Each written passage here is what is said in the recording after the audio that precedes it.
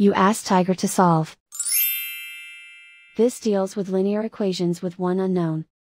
The final result is x equals negative 80 over 7. Let's solve it step by step. Group all constants on the right side of the equation.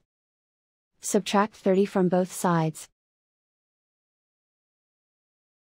Simplify the arithmetic.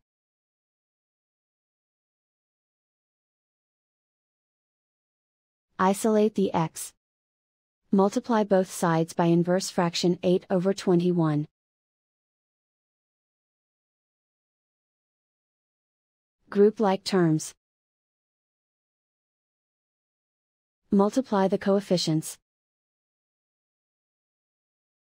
Simplify the fraction. Multiply the fractions. Simplify the arithmetic.